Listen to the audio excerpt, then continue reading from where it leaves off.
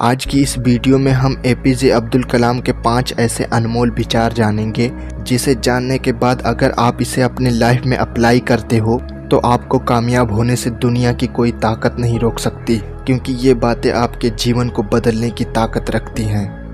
अगर तुम सूरज की तरह चमकना चाहते हो तो पहले सूरज की तरह जलना सीखो। यानी हर एक कामयाब इंसान के पीछे हद पार मेहनत छुपी होती है। इसीलिए आपको बड़ी कामयाबी चाहिए तो बड़ी मेहनत भी करनी पड़ेगी। अपनी पहली सफलता के बाद आराम मत करो, क्योंकि अगर आप दूसरी बार असफल हो गए तो बहुत से ओठ यह कहने के इंतज़ार में होंगे कि आपकी पहली कामयाबी सिर्फ़ एक तुक्का थी। दोस्त, ये दुनिया है।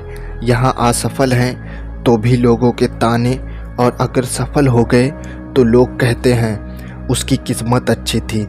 जो उसे एक बार में तुक्के से कामयाबी मिल गई। इसीलिए आप सफल होने के बाद पीछे मुड़कर मत देखिए। आगे बढ़ते रहिए।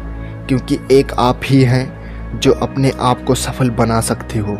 नहीं तो पूरी दुनिया आपको रोज़ असफल बनाने में लगी रहती है। मैं इस बात को मानने के लिए तैयार था कि मैं कुछ चीज़ें नहीं बदल सकता। अब्दुल कलाम जी ने ठीक ही कहा है कि हम कुछ चीज़ें नहीं बदल सकते, इसीलिए आप खुद को बदलो, क्योंकि हम खुद को बदल कर कम से कम खुद तो बदल ही सकते हैं। इंसान को कठिनाइयों की ज़रूरत होती है, क्योंकि सफलता का मज़ा लेने के लिए ज़रूरी है। आपने देखा होगा कि कुछ लोग सफल होने के बाद भी उस सफलता का मज़ा नहीं ले पाते हैं। ऐसा इसलिए होता है कि वे बिना कठिनाइयों का सामना किए सफल हुए होंगे।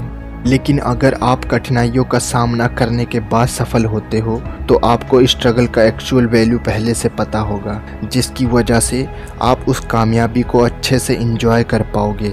इसीलिए हर सक्सेस के पीछे स्ट्रगल भी ज़रूरी है। इंतज़ार करने वाले को उतना ही मिलता है, जितना कोशिश करने वाले छोड़ देते हैं। इस विचार का मतलब तो आप समझ ही रहे होंगे लेकिन अगर इसे मैं अपने लाइफ से रिलेट करके बताऊँ तो मैं YouTube पर 2017 से ही वीडियोस बनाने के लिए सोच रहा था।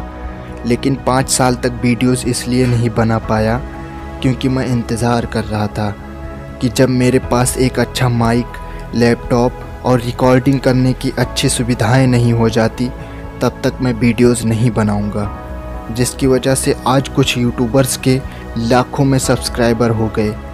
ऐसा इसलिए हुआ कि मैं इंतज़ार कर रहा था और लोग कोशिश कर रहे थे। इसीलिए आप भी मेरी तरह समझ जाओ कि इंतज़ार करने से अच्छा है कोशिश करना, क्योंकि अगर कामयाबी नहीं मिली तो तजुर्बा ज़रूर होगा। तो दोस्तों, मुझे पूरी उम्मीद है कि आप इस वीडियो को देखने से ज़्यादा इस वीडियो में बताई गई बातों को अपने लाइफ में ज़रूर इम्प्लीमेंट करोगे।